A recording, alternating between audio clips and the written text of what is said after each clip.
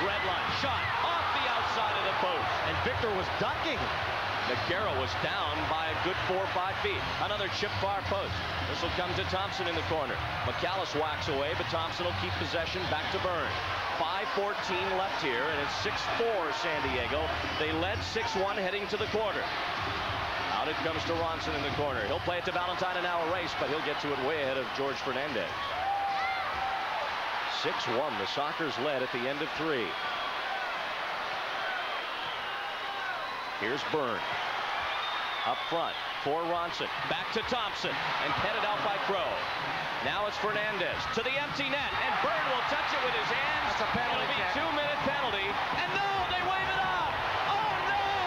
How did they miss it? He knocked it down with his hand.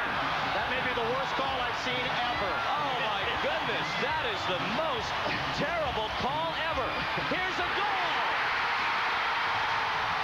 Oh no, Bill, this is a this is a tainted goal. This is a tainted goal. Oh, this is one of the worst decisions in the league's history, Bill. A missed handball at the red line. And you know what the other bad decision was? Victor Nogueira quit. He thought there was going to be a whistle, and they scored easily. A natural hat trick for Mobilio on an absolutely unbelievable missed call. 6-5 Sockers, and the championship is in doubt. Sockers lead, 4.28 to go. And it's still David Byrne. I'm telling you, San Diego gets a goal in the empty net, they're going to win this thing. Quinn sends it up. It's headed out by Troy. And now it comes back kick in soccer. In. Here's Hirmez now trying to work it free for Karic. Zoran double teamed along the wall and held. And he'll just kick it back to Kevin Crow. He'll stab it back in toward the net. Here's Karic in the corner. Lifts it out of play. Have its timeout. If in fact Baltimore were to take the lead. And right now that's not out of the question. They trail by one. Hoskeby with the ball. Valentine quickly back to Hoskeby. Moves toward the net. Into the corner. In front. And it's taken by Quinn away from Mobilio. Now here's Karic turning at center. Oh, and why kick that one wildly?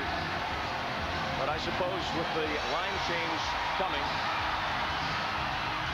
it was perhaps appropriate. 3.20 left now as it comes to Thompson on the left side. A giveaway, but it comes back. Here's Hoskeby, left side shot, knocked down by Nogueira. The header comes to the far post. Jungle trying to get it out and kicks it out. Oh no, this is a bad spot for a free kick. And Hoskeby, here's Byrne. Into the corner. Here's Hoskeby. It's loose in front. Mobilio's shot is blocked by Nogueira. Jungle racing after it along the wall. Valentine will have to play it oh. back to Byrne. Sockers with four fouls. 2.55 left. Here's Byrne, who has to be tiring as the sixth attacker. What fitness. Here's Fernandez, a chance at the open net. He'll shoot it toward goal, and Byrne just gets to it. That time he did it right.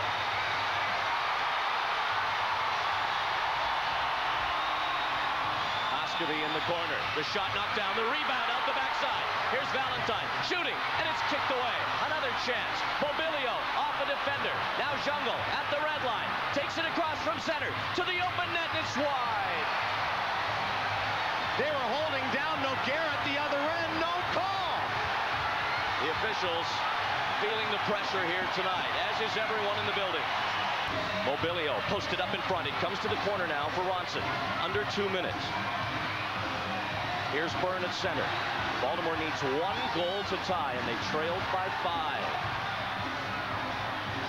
Hoskeby out to Byrne.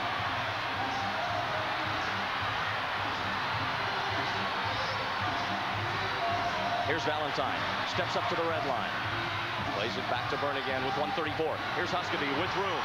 Shoots. And Nogueira's got it. Victor looking outlet. That's the toss. Segota can't find it. It comes right back. Here's Thompson. Out to Valentine. Sockers on a bad change. McAllis steps up to clear it with 115 left. And a foul called against Baltimore. Oh, that's a big play. Quinn ahead for Karic. Back for Quinn. Pressured, but gets it across for Black. In front to Hirmez. In front of the net. Scoop back towards San Diego's end. Crow will send it back up the left wing.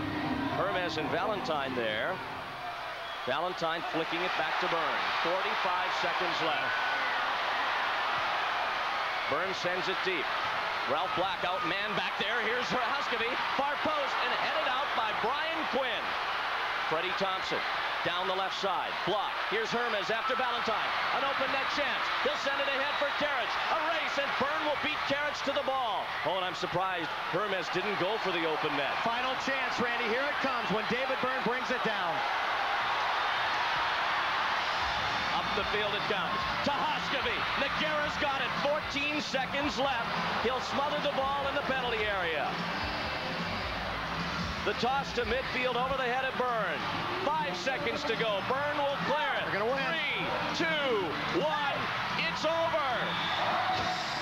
And amazingly, the mystique is still alive. The San Diego Sockers are once again the MISL champions.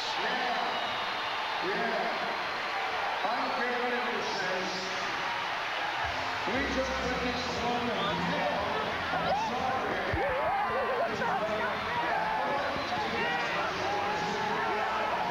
Enjoy the celebration, San Diego, because the Sockers find out tonight that seven is in fact heaven.